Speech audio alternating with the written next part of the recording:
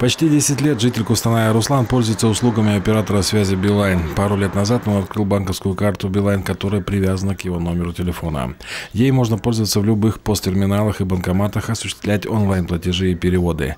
На этом картсчете у Руслана лежала крупная сумма, но до недавнего времени. На днях мужчина хотел расплатиться картой на заправке, но она оказалась заблокированной. Я позвонил в колл-центр по прибытию домой с другого телефона. Спрашивал, почему у меня карта заблокирована.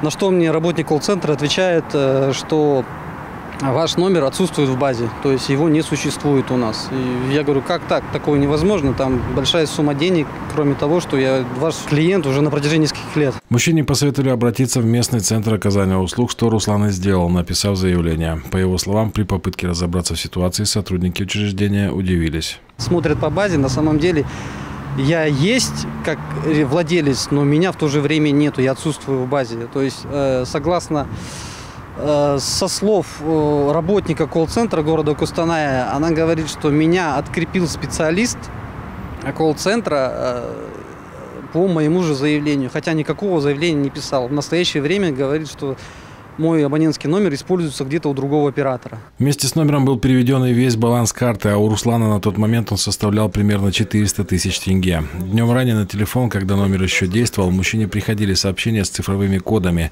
что, по его мнению, свидетельствует о попытках регистрации в личном кабинете Билайн, перерегистрации номера и смене тарифного плана.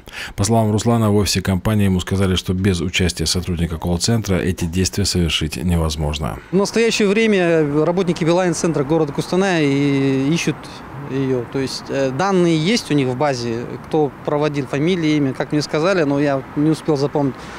Э, при мне пытались связаться по телефону, но трубку никто не брал. Мужчина подал заявление в управление полиции Кустаная, откуда его передали в областной полицейский департамент.